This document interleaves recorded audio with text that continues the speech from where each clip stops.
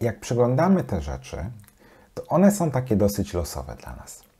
Dlatego, że mm, za każdym razem, kiedy my puszczamy kwerendę SQL, to nie jest tak, że e, SQL za nas sobie te rekordy uporządkuje w jakiś sposób. To jest nasza decyzja od tego, jak te rezultaty będą uporządkowane czy posortowane, mówiąc bardziej poprawnie. I teraz, jeżeli chcemy posortować sobie nasz rezultat, to musimy użyć kolejnego słowa kluczowego.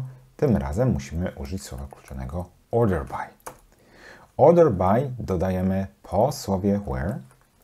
Order by. I załóżmy, że chcemy posortować po order date. Jak widzisz, teraz to tak jest. 2021, 2019, 2020. A my chcemy, żeby to było właśnie posortowane datą zamówienia. Robimy sobie order date. Teraz jest to posortowane. No ale co z tego, że jest posortowane, skoro my z tego nie widzimy? Dodajmy sobie też ten order date. Date. I dodajmy sobie pozostałe kolumny, których tutaj użyliśmy, czyli dodajmy sobie jeszcze shipping mode i delivery state, bo to te kolumny de facto nas interesują.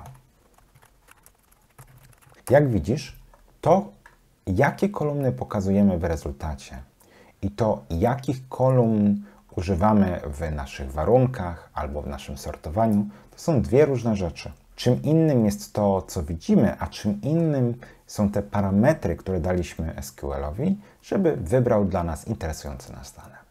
I jak to będzie wyglądało teraz? No teraz to ma sens. Czyli mamy wszystkie kolumny, które nas interesowały i widzimy zamówienia od najmłodszej daty. Dlaczego od najmłodszej? Tak jest domyślny rodzaj sortowania w SQL, czyli od najmniejszej wartości do największej, albo od najmłodszej do największej. Możesz myśleć o jakby najmłodszej dacie, jak, e, najwcześniejszej dacie jako najmniejszej wartości.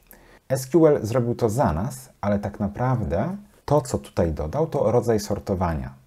E, sortowanie, które on dodał, to ascending, w skrócie ASC, tak to zapisujemy. I to dokładnie oznacza to, co widzimy, czyli że mamy od wartości najmniejszej do największej. Jeżeli chcemy posortować od wartości największej do najmniejszej, odwrotnie, to używamy angielskiego słowa descending, czyli desc.